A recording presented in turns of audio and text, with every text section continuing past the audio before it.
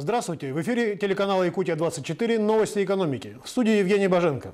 Республика не станет пользоваться правом рассрочки выплаты, полученных из федерального бюджета кредитов. Об этом 5 февраля в ходе заседания правительства заявил министр финансов Якутии Валерий Жандоров.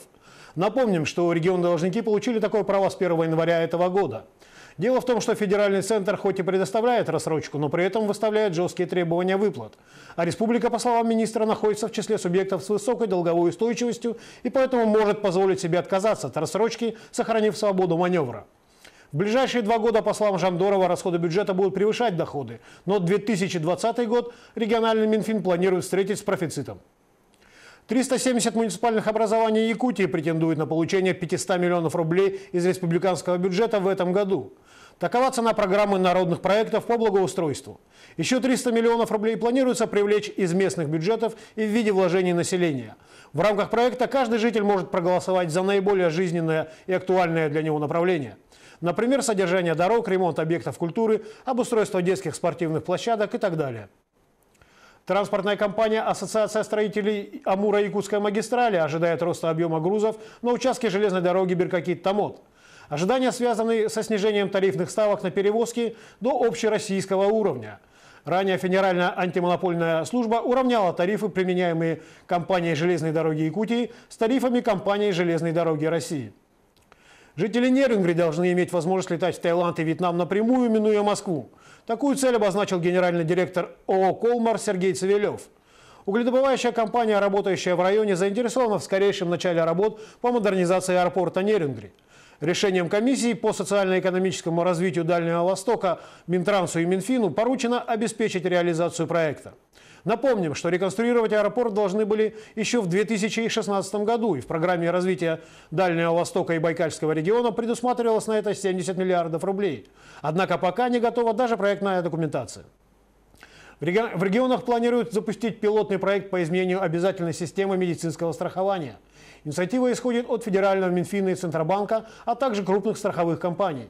Какие именно это будут регионы и какие конкретно планируются изменения, пока не уточняется.